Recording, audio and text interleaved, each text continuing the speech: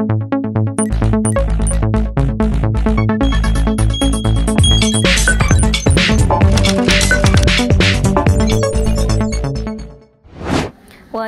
أكثر حول أداء أسواق الأسهم العالمية والسلع. ينضم إلينا السيد رائد خضر رئيس قسم الأبحاث في Equiti Group أهلا بك سيد رائد.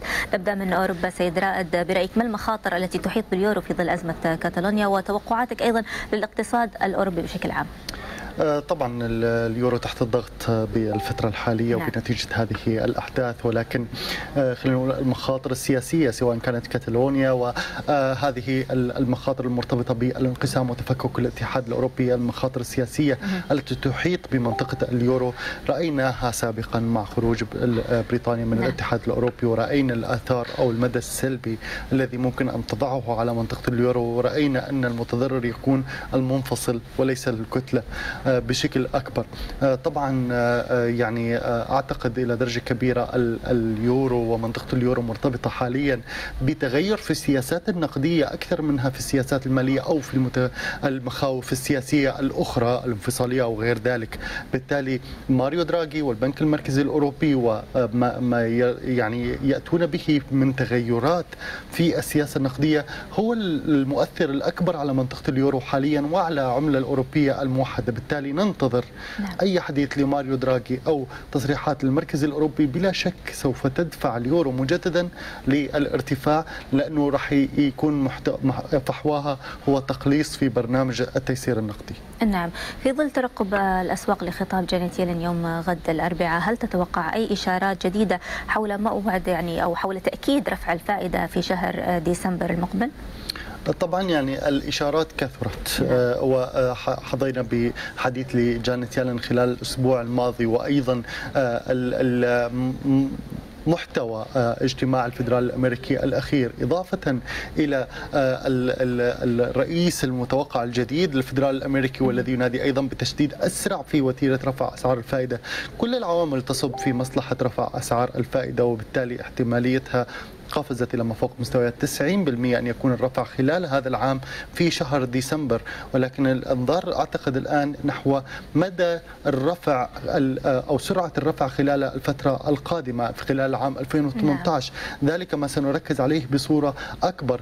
أيضا فيما يتعلق ببيانات التضخم هل سوف تكون تحت المجهر؟ هل سوف يكون هناك عودة للتباطؤ في بيانات التضخم وبالتالي يضغط ذلك على قرار الفدرالي الأمريكي؟ بلا شك. نعم في ظل جميع ذلك كيف تقيم أداء الدولار الأمريكي وأيضا برأيك ما العوامل التي ستحدد أداءه الفترة المقبلة؟ حقيقة يعني الدولار الأمريكي استفاد كثيرا نعم. عاد مجددا للارتفاع مع الخسائر السابقة عاد إلى مؤشر إلى مستويات تقريبا 94 كمؤشر للدولار الأمريكي أمام السلم من العملات ويستفيد من كل ما يعطيه الفدرالي الأمريكي من تلميحات وتصريحات بأن هناك رفع لأسعار الفائدة. بلا شك المتغيرات كتفجيرات لاس فيغاس وغير ذلك أثرت بعض الشيء على المعنويات وعلى أداء الدولار الأمريكي لكن لا يزال تحت أو لا يزال هناك تماسك في مؤشر الدولار الأمريكي اجمالا مدعوما بتغيرات السياسة النقدية وتشديد السياسة النقدية ورفع أسعار الفائدة. نعم أيضا تفسيرك لضغوط الحد التي يعاني منها الذهب حاليا.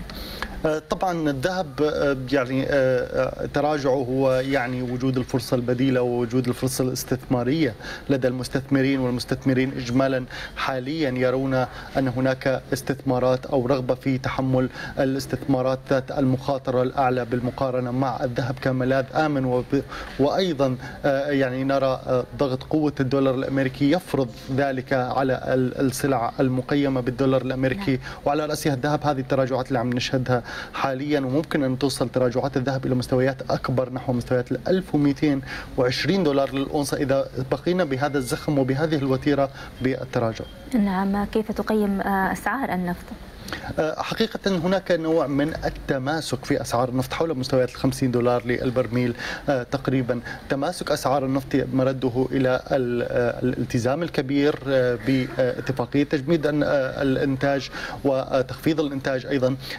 طبعا هذا هو الداعم الحقيقي على أرض الواقع لأسعار النفط للارتفاع. غير ذلك نرى أيضا إمكانية أن يكون هناك ارتفاع في الطلب في الفترة القادمة. قد يدعم أسعار النفط لكن إذا ما تسلقت أسعار النفط عودة مجددا WTI فوق 52 دولار للبرميل. لا نقول أن هناك يعني استقرار واستدامة وتوازن في السوق فوق آه، آه، قريب من مستويات ال 50 دولار للبرميل. قد يكون هناك عودة نعم. إلى 47 آه، دولار للبرميل. نعم سيد رائد خضر رئيس قسم الأبحاث في Equiti Group. شكرا جزيلا لك. شكرا لك.